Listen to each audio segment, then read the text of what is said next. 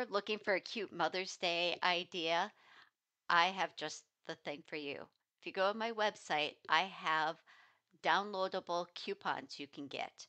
And then you can do this to use them in Cricut Design Space. Upload them just like this, select Complex, and say Continue. Then go hit the magic wand and remove the white. Then I'm going to use the eraser to get rid of that text up here and down here. If I go apply and continue, and I am going to pick the print then cut because I want this to print from my home printer and then cut just the coupon outlines. So now if I go upload, I can click here and say add to canvas.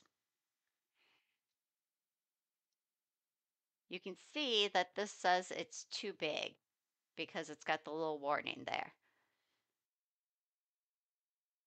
So the max size is 6.82 by 7.86. If I do auto resize, see how that just brought the whole thing down and made it the right size?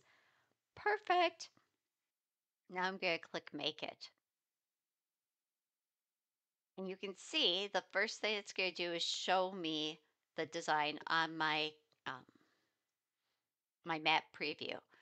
You will notice that now with the new print and cut update, we're not getting a full border anymore. We're getting just these corners. Fine, it's still gonna work. But because Cricut went to just these corners, that's now giving us more space that we can print in. So I'm gonna go continue. And then I'm gonna send this to my printer. I always say add my bleed. That is because if the Cricut doesn't cut exactly perfectly, I'm not going to get a white border.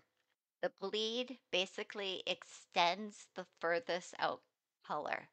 So all of these coupon tickets are going to look fatter than they actually are, but it's going to cut just fine, okay? Make sure you go read my tutorial about troubleshooting. I have a whole section just on bleed. Now we're going to print. When you put your piece of paper onto your Cricut cutting mat, make sure you line it up with that outer grid line in the upper left hand corner. Once you do that, the Cricut is going to pull the mat in and scan those registration lines that are now just those little corner pieces. This is helping it to locate where your design is on the cutting mat so it knows exactly where to cut. Now, because these coupons were saved in a PNG file and all we did was remove the background, that made it super easy. They're just going to cut around the outline.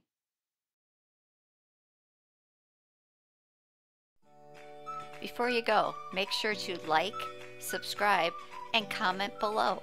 I love to hear from you.